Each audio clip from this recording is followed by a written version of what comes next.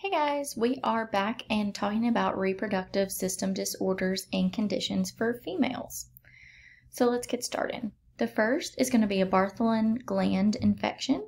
Sometimes you may hear these referred to as Bartholin cysts, and this is when there's an infection present within the um, present within the mucus glands that open near the vagina. So sometimes these have to be lanced and drained, and sometimes you're just put on um, antibiotics to clear that up. Breast cancer, this is the most commonly diagnosed cancer in females. So it's important to do those self breast examinations as well as have your annual um, gynecologic exam by your provider to look for those um, symptoms, those lumps, the dimpling, the changes in your breast to um, find breast cancer. Cervical cancer, this is most common in women between the ages of 30 and 40. So this is young and it's important for us to screen for cervical cancer, which is what a pap smear does.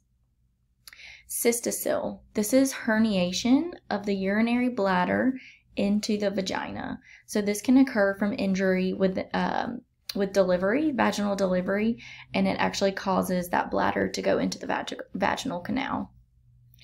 Endometriosis, this is when there's presence of the endometrium in other sites other than the uterus. So sometimes this endometrium can start growing on the ovaries and the fallopian tubes, even into the bowels, and it's been seen as far up as the lungs. So it's um, growth of this endometrium in places that it shouldn't be.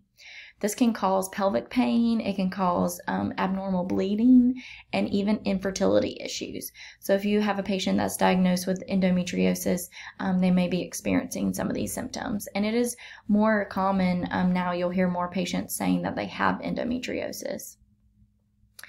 Endometrial cancer, this um, originates in the endometrial tissue. It's more common in individuals over the age of 50. Fibrocystic breasts, this is when there are benign cysts in the breast tissue and they can increase and decrease in size um, kind of going with their menses or with their menstrual cycle. Um, sometimes these fibrocystic breasts have to be biopsied because we don't know if they're benign or not. Um, so individuals with lots of cysts within their breast, they'll often um, have to get um, frequent uh, biopsies of these to make sure that they're not cancerous.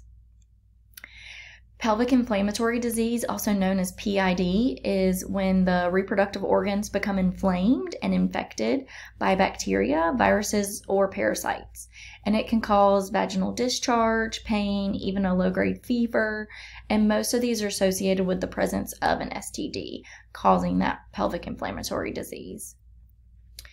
Um, next, we have premenstrual syndrome, and this is known as PMS.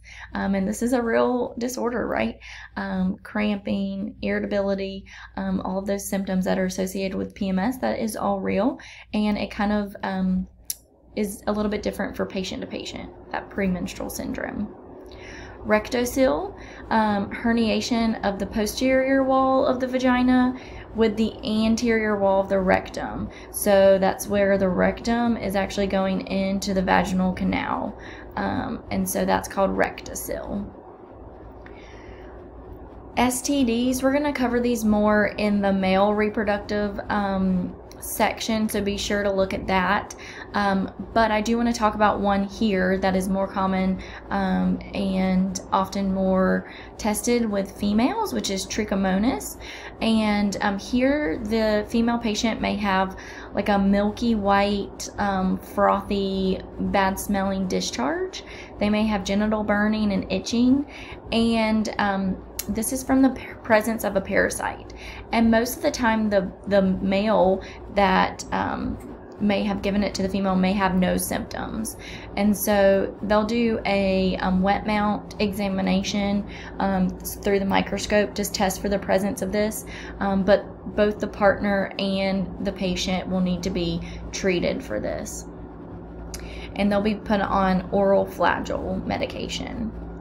And then vaginitis is our last condition here, and that's inflammation of the vagina that can be caused by bacteria, fungus, um, different chemical irritants like changing soaps or things like that, um, irritation from foreign bodies, um, and even a vitamin deficiency or uncleanliness.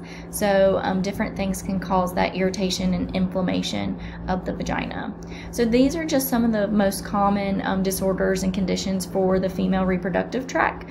So, be sure to be familiar with these and remember to stay tuned to learn more about STDs in the male reproductive system.